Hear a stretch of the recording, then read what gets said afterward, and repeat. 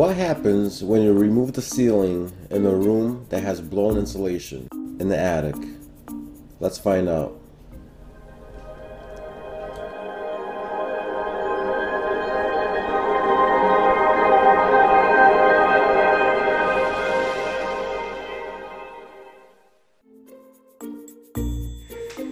Hey guys, so I am having, I don't think fun is the word, bought a new shop vac, and this is blown in insulation from the attic.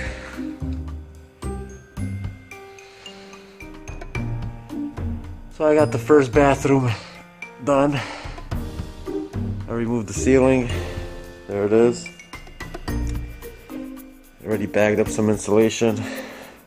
This is fun stuff. So, this is the first bathroom and closet.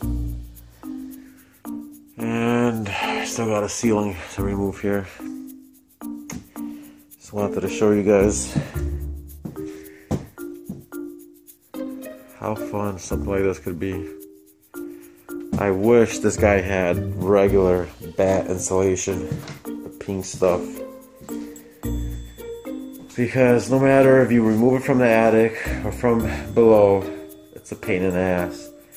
I chose from below because I have to get rid of the sheetrock anyway, and there's no point for me to remove the plywood right now from the ceiling.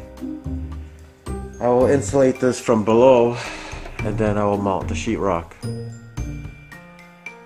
As you can tell, this is a dirty ass job. Alright, it's a proven helper. Showing you what's up right now.